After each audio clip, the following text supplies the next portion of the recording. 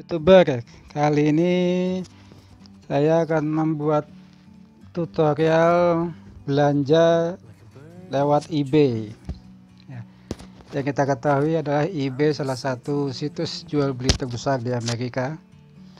Biasanya orang akan memakai eBay ketika barang itu tidak ada di Indonesia atau di Indonesia harganya sangat mahal tapi sudah bukan rahasia lagi bahwa barang-barang yang di eBay itu adalah barang yang hanya ada di Amerika.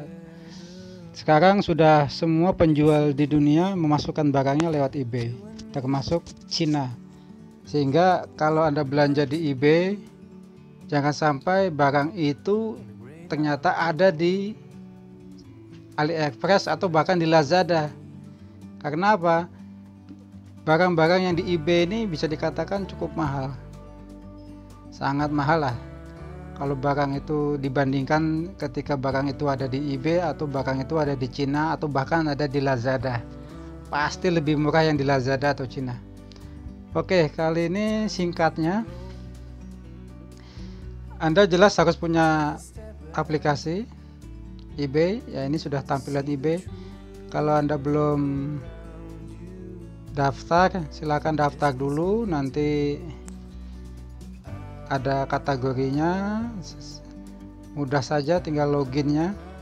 Seperti biasa Anda daftar login di situs-situs jual beli. Di sini banyak sekali kalau dilihat kategorinya sangat banyak ya. Anda bisa membeli berbagai macam barang. Dan salah satu unggulan di eBay adalah di eBay itu ada auction atau lelang. Tapi di sini saya tidak akan membicarakan tentang lelang karena ternyata bermain lelang pun juga cukup sulit dan hampir barang yang dilelang tidak dikirim ke Indonesia. Jadi di eBay ini ada global shipping yang hanya produk-produk tertentu saja yang bisa dikirim ke Indonesia. Misalnya saya contohkan tablet ini misal. Ya seperti ini. Ya. Ini tablet ini kalau tandanya seperti ini ada shipping payment return ini biasanya barang ini bisa dikirim ke Indonesia. Ini dalam bentuk satuan selain dolar tapi bisa di langsung dikonversi ke rupiah ini harganya 800 maka di sini otomatis di eBay payment tidak dimasukkan eh, pajak. Sebetulnya di Indonesia pajaknya adalah 75 dolar tapi terkadang di eBay ini 50 dolar saja sudah dimasukkan pajaknya. Nah itu yang misalnya kita contoh kita ambil misalnya ini.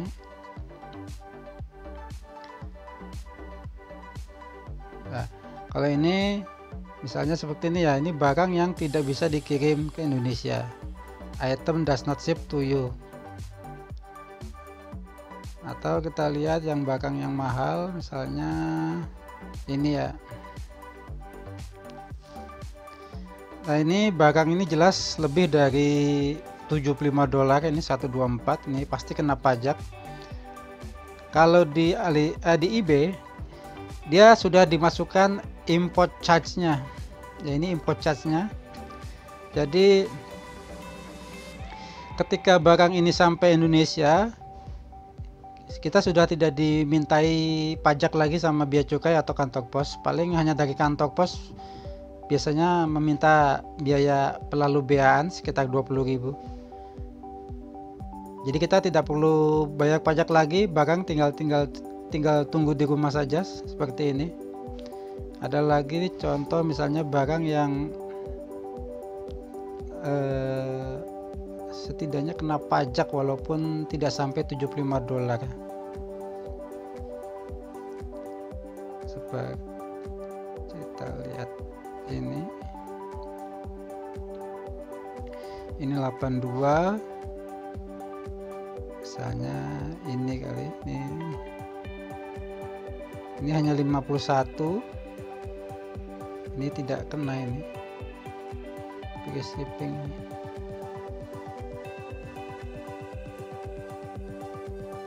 kita lihat. Ini yang 900 oh ini juga tidak kena. Jadi ada biaya-biaya yang beberapa barang itu ada pajaknya walaupun kurang dari 75 dolar oke itu simpelnya.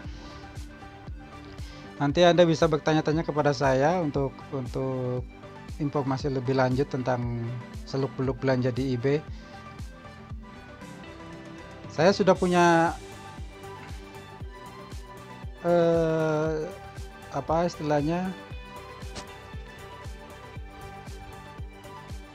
Kantong belanja. Ya ini yang mau saya belanja hari ini harganya 39 dolar. Ini saya beli ini karena barang ini tidak ada di Indonesia tidak ada di Cina. Di Cina ada tapi kuantiti kuantitinya harus banyak. Ini biaya kirimnya lebih mahal daripada harga barangnya. Ya ini import charge-nya free. Ini sudah saya masukkan. Jadi kalau sudah di to chart tinggal pilih go to check out.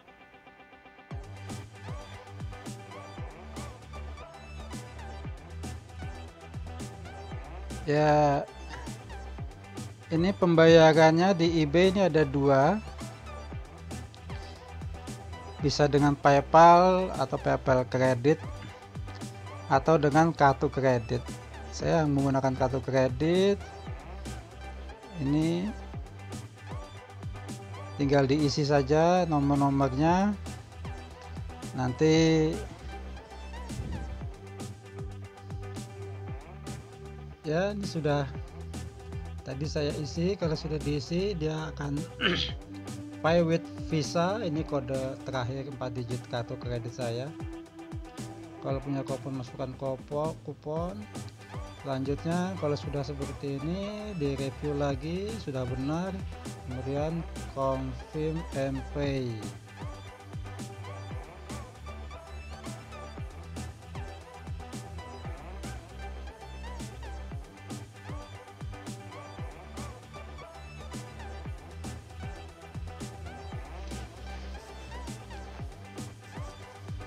Ya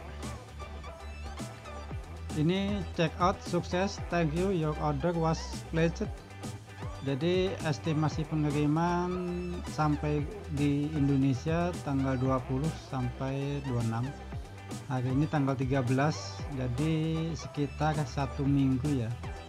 Satu minggu bisa sampai. Ini sudah sudah selesai pembayaran. Jadi kalau kita mau lihat. Uh, pembelian kita. Nah ini.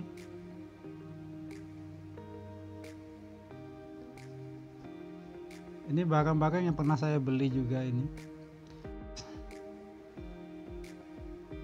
Kalau kita mau lihat status kita klik aja order detail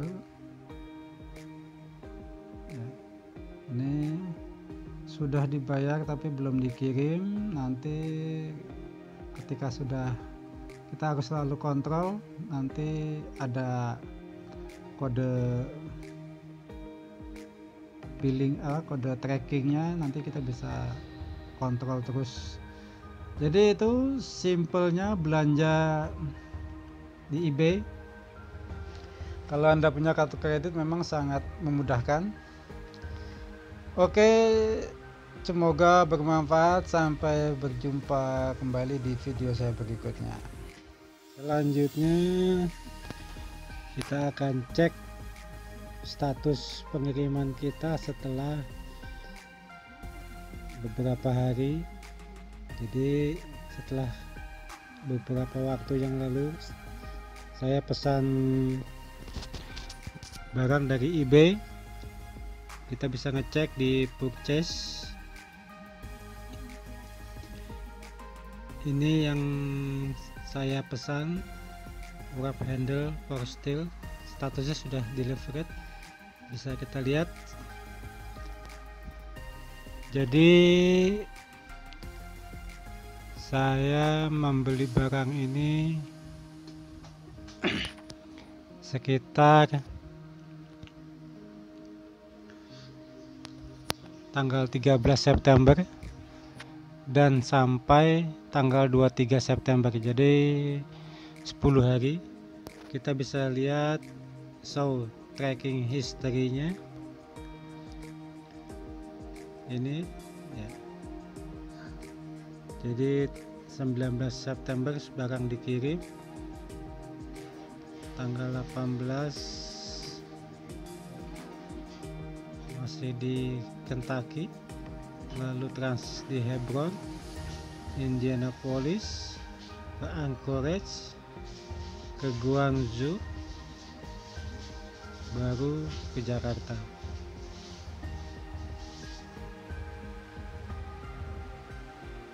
Jadi barangnya ke Cina dulu. Jadi seperti ini. Jadi pengiriman lewat eBay. Bisa dikatakan memakan waktu cukup lama. 10 hari. Padahal paket kirimannya cukup mahal. Oke itulah belanja saya dari eBay. Semoga bisa menambah pengetahuan untuk berbelanja di eBay. Baik sampai jumpa lagi di video berikutnya. Silahkan di like di share and di komen untuk berinteraksi dengan saya. Sampai jumpa lagi